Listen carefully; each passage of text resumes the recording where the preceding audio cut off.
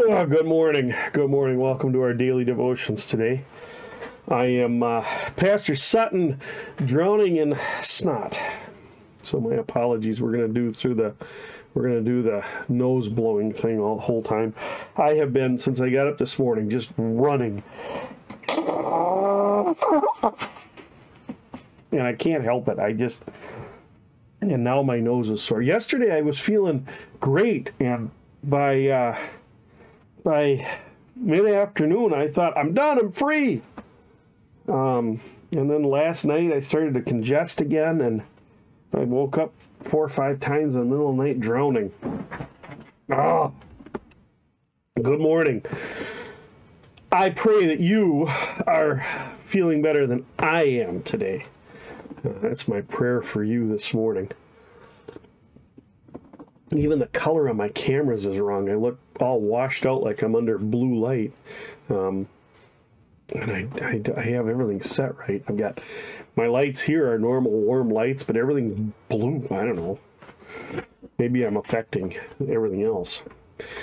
Good morning. Glad you're here with us. Spend a little time in God's Word on this Wednesday morning. Midweek Advent services at many churches. St. Paul here in Irma we'll be having theirs at uh, 7 o'clock this evening, midweek service. Got catechism uh, at 4.30 before that. And uh, tomorrow, uh, midweek at uh, Faith and Harshaw at 4.30 uh, in the afternoon midweek service. I, you know, some churches have done away with them, but I think midweek is important. I think it gives us a an opportunity uh, during the season of Advent to look at a at a topic or a subject or a, a group of readings um, separate from the from the Sunday readings and focus in on on. Uh, on, on, on that and I think that's a I think I think that's a good thing. I'm doing a series prophet priest king and savior um, for the four the four Wednesdays in Advent. Some guys are only doing three; they're only doing them in the Wednesdays of December.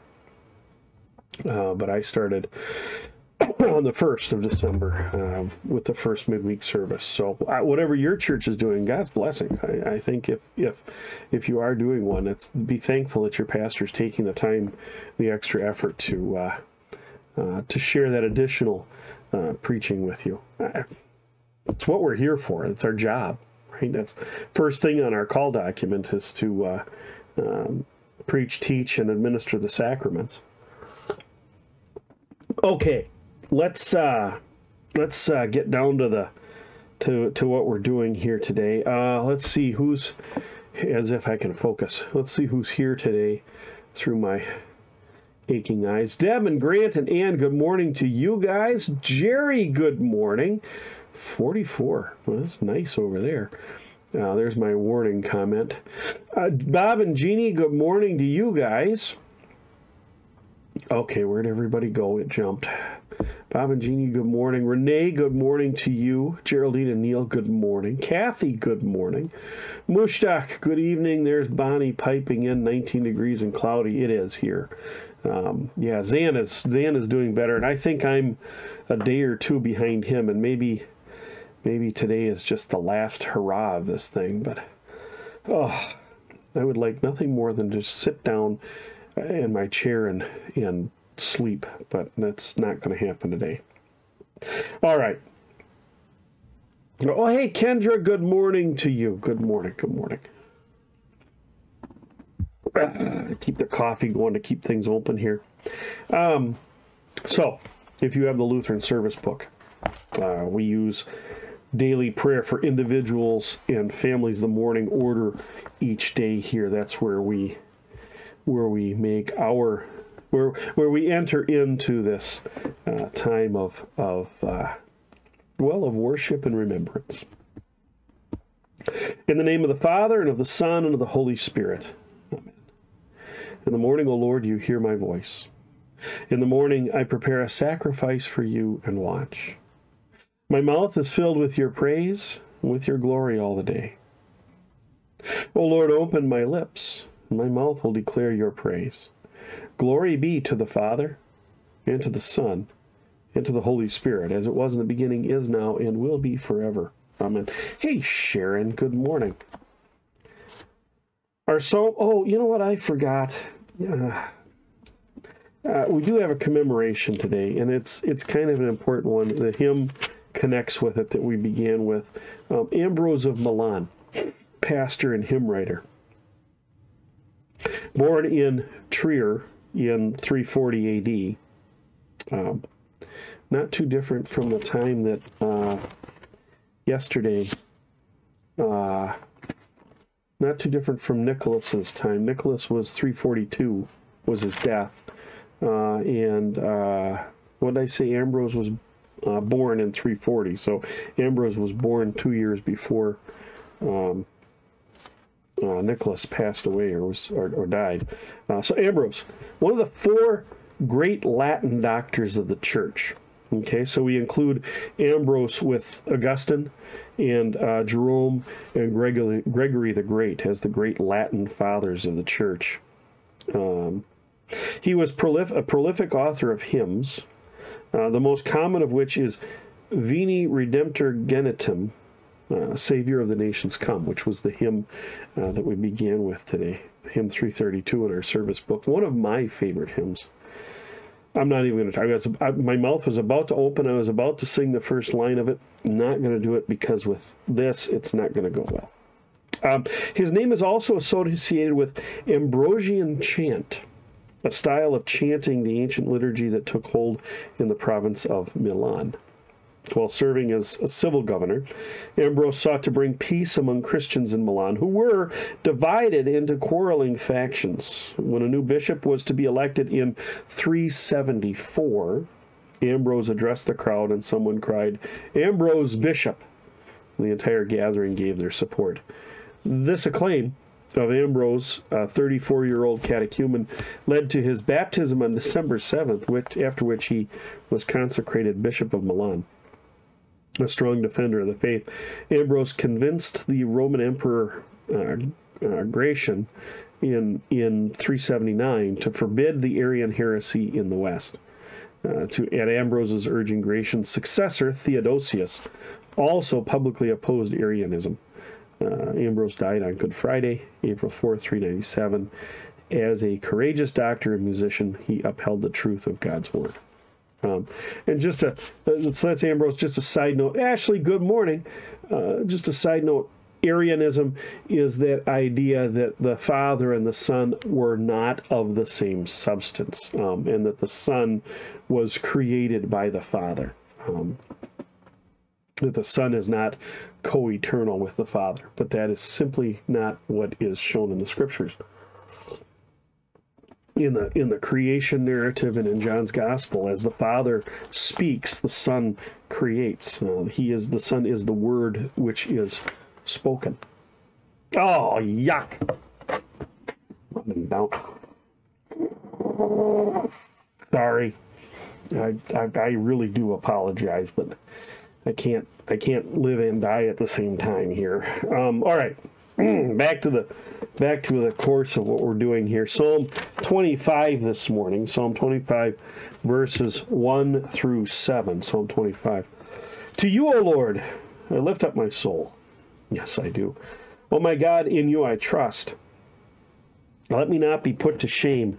Let not my enemies exalt over me. Indeed, none who wait for you shall be put to shame. They shall be ashamed who are wantonly treacherous. Make me to know your pa- your ways, O Lord. Teach me your paths. Lead me in your truth and teach me. For you are the God of my salvation.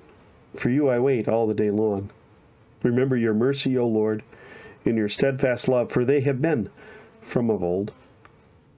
Remember not the sins of my youth or my transgressions. According to your steadfast love, remember me for the sake of your goodness, O Lord. Glory be to the Father, the Son, and the Holy Spirit, as it was in the beginning, is now, will be forever. Amen. Um, to you, O Lord, I lift up my soul. Indeed, none who wait for you shall be put to shame. We have, they shall be ashamed who are wantonly treacherous. We have a, a promise from God through Christ. Um, and it's one that uh, will not be we will not be ashamed of. Right? I mean, it's it's easy for the world to accuse us of things uh, of of silliness and and uh, uh good morning, Verna of of uh, believing in mythical things. It's easy for an unbeliever to say those things. Um, those who are wantonly treacherous, those who are turned away from God and hating Him. But you and I have this promise, the promise of Christ Jesus, and on the last day, when our day comes, we will not be ashamed. Um, and so we call on the Lord to continue to teach us through His Word, uh, through His gifts, through His preachers and teachers and pastors who faithfully teach us. Lead me in your truth and teach me, for you are the God of my salvation. For I wait for you all the day long, and today I wait particularly. Um, so remember your mercy and your steadfast love. They have been from of old, from the beginning, right? God was uh, God was forgiving to Adam and his children. He has been forgiving to all of Adam's children up until today, even to the point of in in in you know the, the, the turn of the of the age, if you will, uh, in the birth of Christ. Um, uh, he has he has forgiven us our sins through through Christ. Um, that's not out of anything we've done, but out of His steadfast love. His Hesed is the Hebrew, um, and that's His that's that's His uh, compassion for those in His creation. Um, remember not the sins of my youth, or the myth, or my transgressions. According to your steadfast love, remember me. Right? Don't remember me because of my sins, Lord. Remember me because of, of your love for me. It is John, St. John in his gospel, who tells us that God is love, and it's his love that gives us life. Let's move on. Um, I'm dying. I, I just can't even believe how much is coming out here. Um, if you can't take this, don't be afraid to turn away. I thought about just turning the camera down to the book, and, and you could hear all this, but you wouldn't see any of it. Isaiah 24, verses 1 to 13. Thank God it's short today. Um, and it wasn't this bad before you guys got here. Did you do this? Is, is this because of you? I can't even wear my glasses because my eyes are running. Can't see. Isaiah 24, 1 through 13. Behold, the Lord will empty the earth and make it desolate. He will twist its surface and scatter its inhabitants. It shall be with his as with it the people so with the priest, as with the slave, so with his master, as with a maid, so with her mistress, as with the buyer, so with the seller, as with the lender, so with the borrower, as with the creditor, so with the debtor. The earth shall be utterly empty and utterly plundered, for the Lord has spoken his word. The earth mourns and withers, the world languishes and withers. The highest people of earth languish, the earth lies defiled under its inhabitants. For they have transgressed the laws, violated the statutes, broken the everlasting covenant. Therefore, a curse devours the earth, and its inhabitants suffer for their guilt. Therefore, the inhabitants of the earth are scorched, and few men are left. The wine mourns, the vine languishes, and all the merry hearted sigh. The mirth of the tambourine is stilled, the noise of the jubilant has ceased. The mirth of the lyre is stilled. No more do they drink wine with singing. Strong drink is bitter to those who drink it. The wasted city is broken down, every house is shut up, so that none can enter. There is an outcry in the streets for lack of wine. All joy has grown dark. The gladness of the earth has banished, is banished. Desolation is left in the city. The gates are battered into ruins. For thus it shall be in the midst of the earth among the nations, as when an olive tree is beaten, as it as at the gleaning when the grape harvest is done. Glory be to the Father, to the Son, to the Holy Spirit, as it was in the beginning, is now, and will be forever. Amen. Hey, Mike. Good e- uh, good morning. Oh, you had the coffee. I'm guessing you went to coffee. Um, you always take us long. You're in. It's on the phone. Um. Oh, I forgot to hit record. Son of a.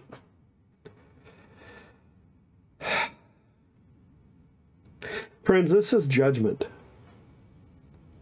Um, God is having Isaiah speak forth the judgment that will come on the last day. Uh, the Lord will empty the earth and make it desolate, twisting the surface and scattering the inhabitants. And it shall be as with the people, so with the priest. And then he goes through all these social positions. Doesn't matter who you are.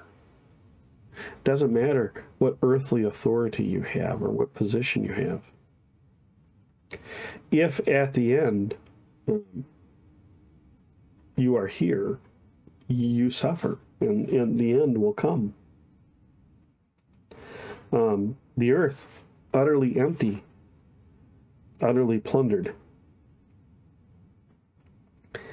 Um, the earth lies defiled under its inhabitants. They have transgressed the laws, the statutes, the everlasting covenant, and the curse devours the earth. And maybe that's a good word to have come forth here um, on, on as in this time of Advent, right? Because we we sing about um, the curse that is until Christ comes. That that Christ comes to break the curse. Because in him there is no curse. But outside of him is only the curse.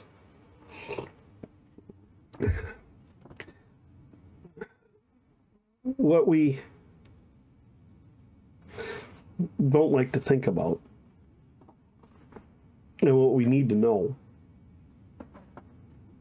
recognize, is that from the fall into sin, from the from the time that that Adam uh, turned away from God, that Adam sought to be his own God. Uh, if you eat the fruit, it will make you wise like God, knowing good and evil. From that time, um, everything that is or will come to be has been under the curse. It is slated for God's wrath. Um, in the moment that that Adam and Eve betrayed their father, our father, their heavenly father, um, his wrath fell upon them. If you eat of the tree in the center of the garden, you will die. The moment they ate of it, they became spiritually dead, turned away from God, hating God, despising Him. And at that point, God sentenced, if you will, everything in creation to destruction. Out of his steadfast love, out of his mercy, he did not destroy everything immediately. Um, in a place it's written, he passed over former sins, anticipating the coming of his son. But when the time has come, and for us, it is a blessing because that time is not fixed in our in our knowing, right? Only God, only the Father knows. Um, Christ, according to his uh, nature on earth, his humbled nature, said, even the Son doesn't know. Um, but on the last day, everything will be destroyed. There are those that, that want to say, well, if we could just, if we could just be good and love our neighbor, then we would make the world a perfect place and God would return. No, I'm, I'm sorry, that's not scriptural. Um, what is revealed to us in Isaiah and in the book of Revelation, and to some degree in the book of Daniel, is that on the last day, on that great and awesome day. Everything's destroyed uh, to be created anew. Um, that's why it's a new heaven and a new earth, a new creation for us to live in. Um, those uh, inhabitants that remain uh, will also die. I mean, everybody everybody dies at, at, at the end. Anyone who's living dies. Um, But as as it draws near, we are almost given this image here from Isaiah that as it as it draws near, um, the few men are left. Wine mourns, the vine languishes. Right, the wine the wine turns bitter. Strong drink bitter to those who drink it. The merry-hearted sigh. Mirth and tambourines are stilled. The noise of the jubilant ceases. Mirth and the lyre is stilled. Everything becomes silent. The city, wasted city, is broken down, and every house shut up that no one can enter. And there's a cry in the streets for a lack of wine. And and that image, that's that's imagery. Lack of wine is the lack of joy. Wine is for man's joy, the psalmist says. Um, all joy has grown dark. The gladness of the earth is banished. Desolation is left in the city, and the gates are battered to ruin.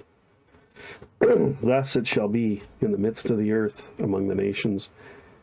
Like when the olive tree is beaten, which is how they get the last olives off the tree, as, it, as at the gleaning when the grapes harvest is done. Right? Everything's done. Everything is destroyed. Nothing left. You and I, my brothers and sisters in Christ, you and I look here.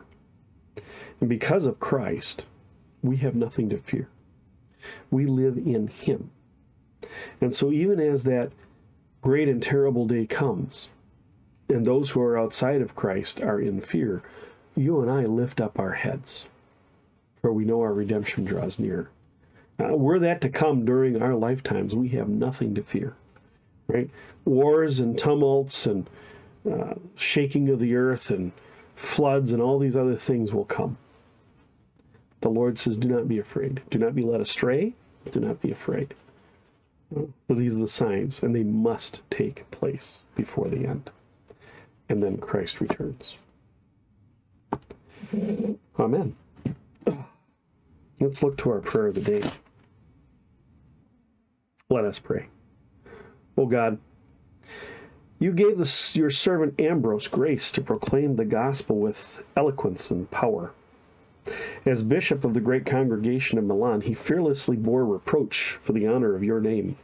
Mercifully grant to all bishops and pastors such excellence in preaching and fidelity in ministering your word, that your people shall be partakers of the divine nature through Jesus Christ our Lord, who lives and reigns with you in the Holy Spirit, one God, now and forever. Amen.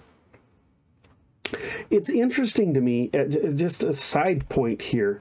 Um, if you were paying attention when I was talking about Ambrose, um, he was the uh, uh, mayor, um, uh, governor of um, the province of Milan. Um, and when they called for him to be a bishop um, at a public the public outcry for him to be bishop, he hadn't even been baptized.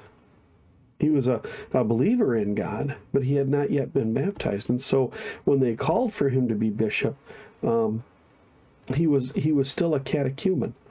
Um, he was still learning the faith, and and uh, in in days past, um, if you weren't baptized into the church as an infant, well, still today we catechize before baptism, prior to baptism. We make sure you understand at least the essentials of the faith before being baptized. And a lot of times in the church in the 300s, when the church is just coming out of its persecution, um, that practice was was more intense and usually there was a year or two of instruction before you were baptized into the faith um, but he was baptized and became a strong defender of that same faith that you and i hold all right just a thought as I was going along there. Let's continue with the Apostles' Creed. I believe in God the Father Almighty, maker of heaven and earth, and in Jesus Christ, his only Son, our Lord, who was conceived by the Holy Spirit born of the Virgin Mary, suffered under Pontius Pilate, was crucified, died, and was buried. He descended into hell. On the third day he rose again from the dead. He ascended into heaven and sits at the right hand of God the Father Almighty. From thence he will come to judge the living and the dead.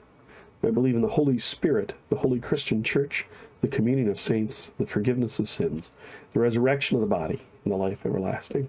Amen. And we are bold to pray as our Lord taught us. Our Father who art in heaven, hallowed be thy name. Thy kingdom come, thy will be done on earth as it is in heaven. Give us this day our daily bread, and forgive us our trespasses as we forgive those who trespass against us.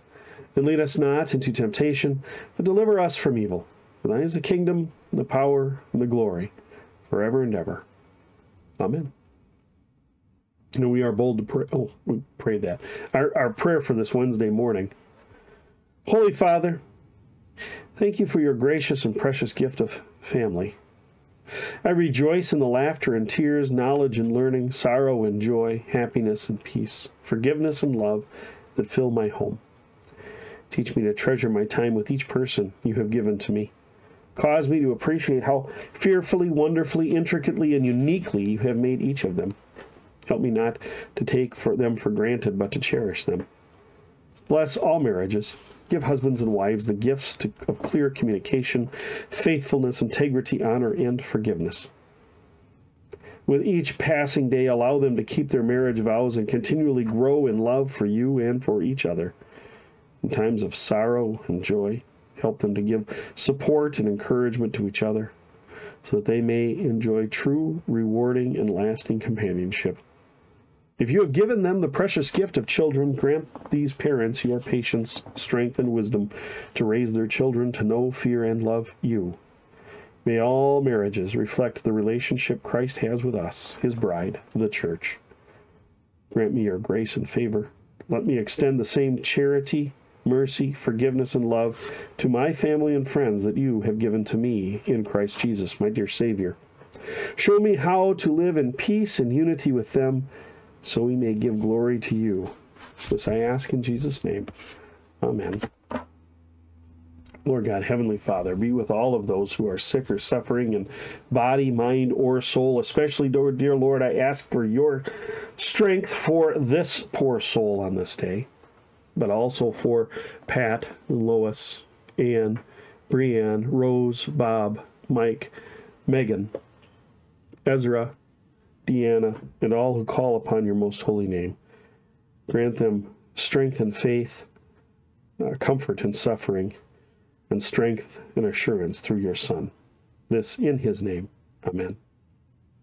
Almighty God, merciful Father, who created and completed all things, on this day when the work of our calling begins anew, we implore you to create its beginning, direct its continuance, and bless its end that our doings may be preserved from sin, our life sanctified, and our work this day be well pleasing to you, through Jesus Christ our Lord. Amen.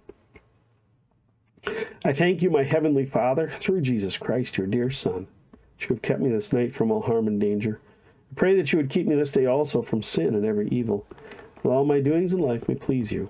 For into your hands I commend myself, my body and soul, and all things. Let your holy angel be with me, that the evil foe may have no power over me. Amen. Let us bless the Lord. Thanks be to God. Well, my friends, that concludes our devotions for today. Thank you, Renee. I appreciate that. Um, I think I've got one of those colds where, you know, if you were to call the doctor, he'd say, well, I've got a great cure for you. Um, if you if you don't want it, you should be over in the cold in 14 days. Um, but if you'd like to take this, it'll take two weeks. 14 days, two weeks and I'm coming up on two weeks, I think. Um, so hopefully this is, like I said, I thought last night I was done, but today is just like again. So, all right, God's peace be with you, uh, and we will see you back here tomorrow, Thursday morning, for our daily devotions together. God's peace.